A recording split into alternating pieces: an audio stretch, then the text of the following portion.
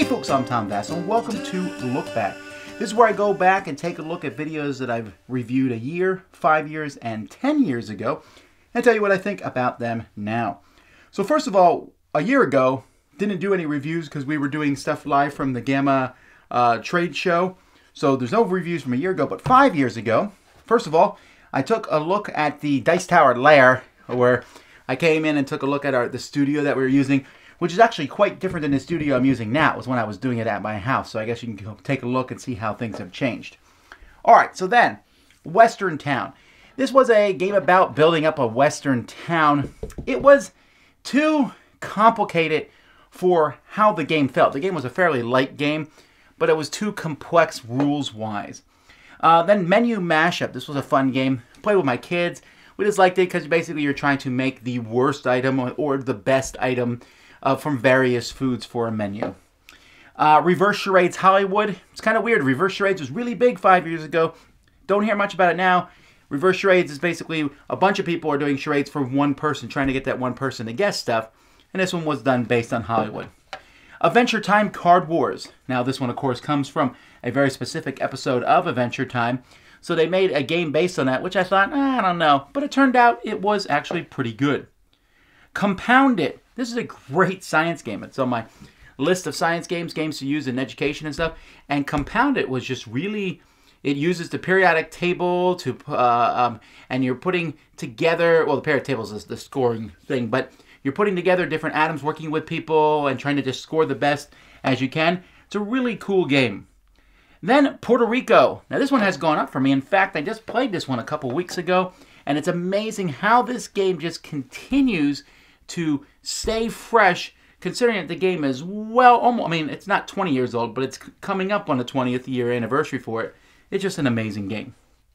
All right so 10 years ago I took a look at Kimaloe or Kimalo this is from the same company that made the original edition of Jamaica so it's kind of a pretty game. It's an okay game as you're just trying to move things on tracks. It has a nice theme but there's not a lot more to the game other than that Alright, here's where I get into trouble. Battlestar Galactica. 10 years now. And you can see that has a fairly hefty drop. Now, there's a couple reasons for that. One is the game itself, as time goes by, my wanting to play a game that does this thing, that's that long, has gone down. Don't get me wrong, still very thematically strong, still I, I, mean, I still have a soft spot for Battlestar Galactica. The theme works really well. It's just that since Battlestar Galactica has come out, there are many, many, many, many, many, many, many, many, many, many, many, many, many games that do the same thing. And I think Battlestar Galactica, I mean, they do, I think they do it better than Battlestar Galactica and in a much shorter time frame. All right, then we have Catan Geographies Germany. This is one that Sam always talks about. A really excellent uh, Settlers of Catan variant, and I really do think this is one of the best ones with the beautiful buildings that you're placing out. I don't know, I'm not a huge fan of Catan anymore, but this one still I would gladly play. Then Aber bitte mit Sahne, or the English version of this, Piece of Cake. Now this was just remade last year called New York Slice, a pizza version. The original version was pie. I did like the pie or cake, whatever. Um, really enjoyed this version as you basically take this uh, cake and you're splitting it into one part, then everyone else chooses, and you get the last thing left over. And then you're going for area majorities or getting whipped cream. It's a solid game. I'm glad they remade it. I like it a lot. Uh, then we have uh, Ghost Stories. Woohoo! Ghost Stories still going strong. An amazing game. A great cooperative game. In fact, I they're going to be remaking the game. A new anniversary edition of it, or actually a retheming of it, from what I can tell. Looking forward to that. But until that time comes, Ghost Stories is still a great game.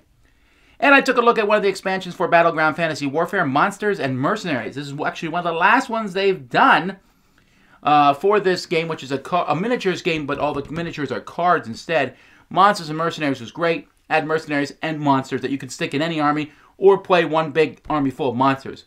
It's probably one of my favorite factions, other than maybe the Lizard faction. It might be my favorite faction. I just like all the stuff that it adds. It's lots of fun.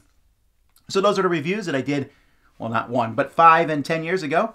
Until next time, I'm Tom Vasel, and you've been watching Look Back on the Dice Tower.